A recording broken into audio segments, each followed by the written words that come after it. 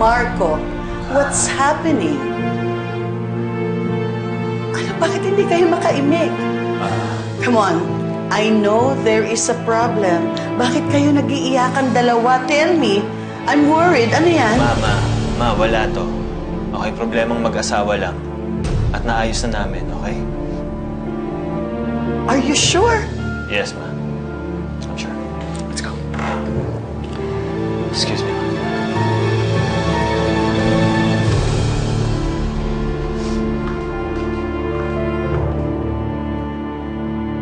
Meron ng problema ang dalawa, pero ayaw nilang sabihin sa akin. Ba talaga nakita pa tayo just for this? You could have just called me. Hindi ko maintindihan why you even bother. Malalaki na ho sila. Hayaan niyo na lang si Thea at si Marco to deal with whatever issues they have. Sofia, nakagsasalita ka ng ganyan kasi wala kang asawa. Wala ka pang anak, kaya hindi mo alam kung anong pakiramdam ng isang ina katulad ko na kahit gano'n na kayo katatanda ni Marco. Kung ano man ang problema niyo, problema ko na rin yun. Eh, yun na nga, May. Hindi mo pa nga alam kung ano yung mga issues nila eh. So please, just let it go. Hayaan niyo na lang sila. No, no. Hindi ako matatahimik hanggat hindi ko nalalaman kung anong problema nila, lalo na nililihim nila sa akin yan. Kaya gagawin ko ang lahat ng pwede kong gawin para malaman ko kung anong problema nila. Sana lang, Sofia, mali ang kutob ko na si Thea ang may diferensya at hindi si Marco. Dahil kapag tama ang hinala ko, humanda ang babaeng yan.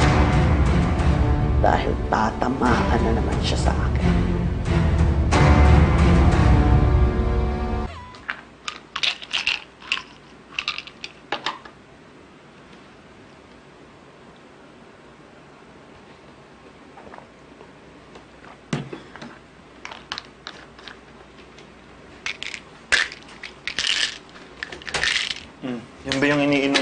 ART treatment drug? Oo eh. Kailangan lagi kong inumin to on time. Kaya nga nag-aalarm pa ako. Naligo ka na. Sige.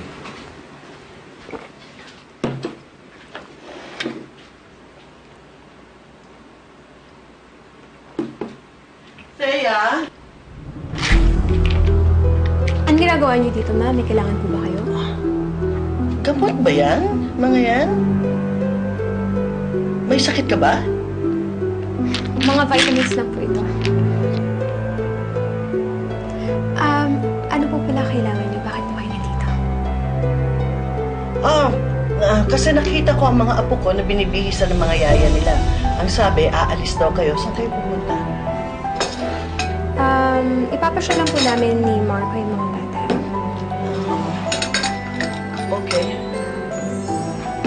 daming kalat dito. Magpapaakit ako ng katulong, ha? At para mailigpit ang mga yan, ha? Sigurado ka, you're okay? Opo.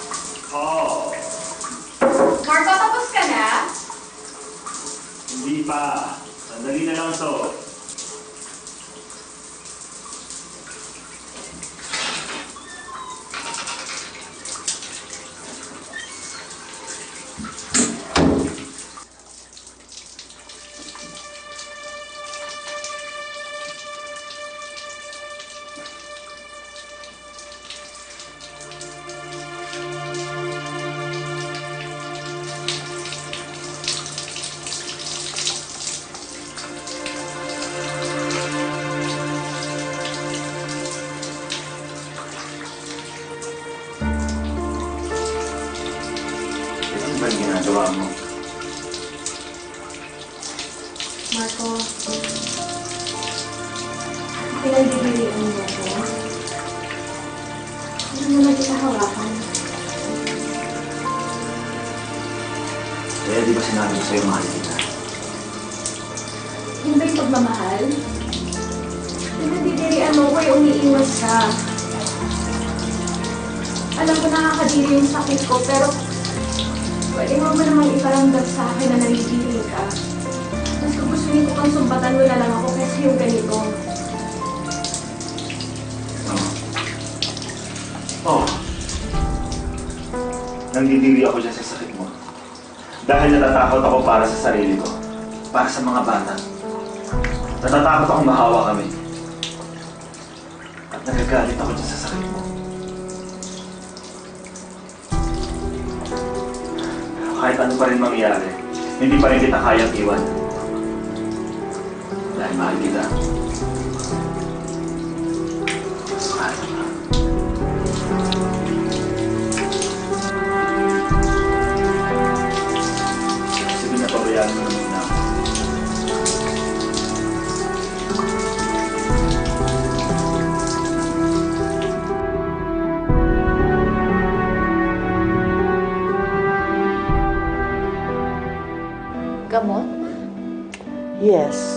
Nakita kong hawak niya kanina. Bakit ho? May sakit ba siya? I don't know. Pero sa tingin ko, hindi ordinaryong gamot yun sa lagnat, o sa sipon, o sa ubo. Pero ang sabi niya sa akin, vitamins daw. But you know what? I don't believe her. Ma, what's this? Bakit ho big deal ito? Well, naalala ko kasi yung kwento sa akin ni Ava. Sabi niya sa akin, may sakit daw ang kapatid mo. But, no, I don't believe her. Baka si Thea pa. Ano naman daw? Sakit yun. Sana mali ang iniisip ko. Sana talagang malisyosa lang ang isip ko.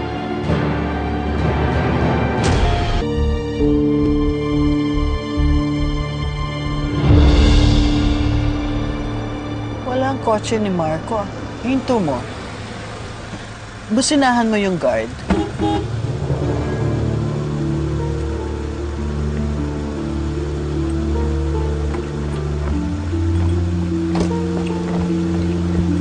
Ma'am. Ah, umalis na ba si Marco?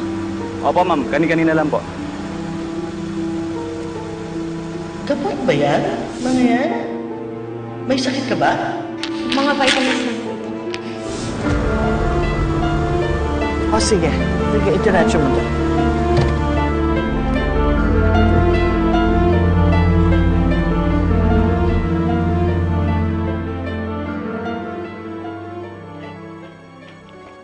Nasa, nasan si Meding? Ah, day off po, ma'am.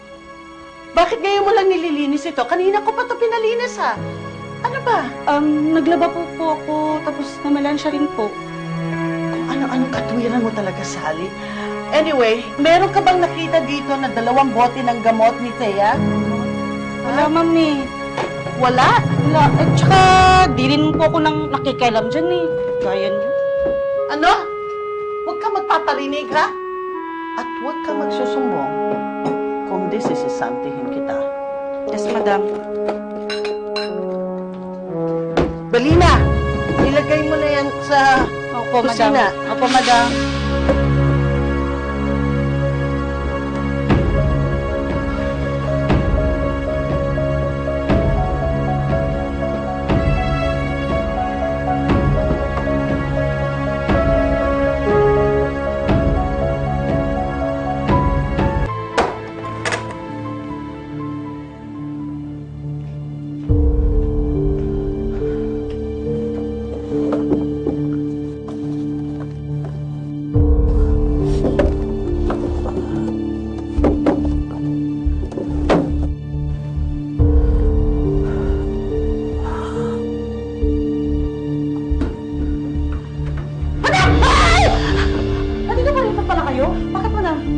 Pa ba nahanap yung gamot? Hindi pa!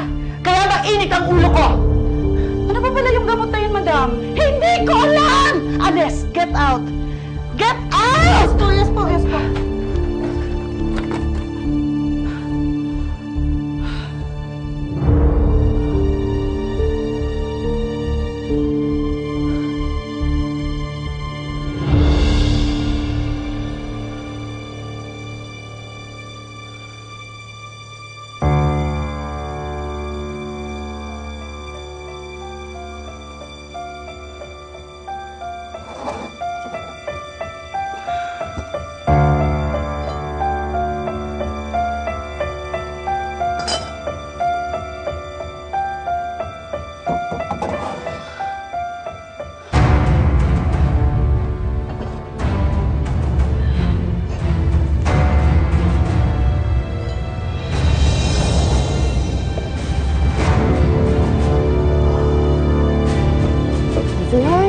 Are. Ang galing mo magtago, pero hindi pa rin magaling kasi nakita kita.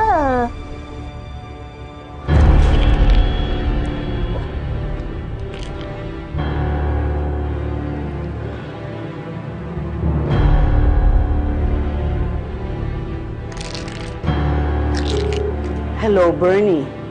Yes, si Adele. Um, is it possible na makapunta ako dyan sa clinic mo ngayon? Emergency lang. Meron lang akong itatanong sa'yo ng mga gamot.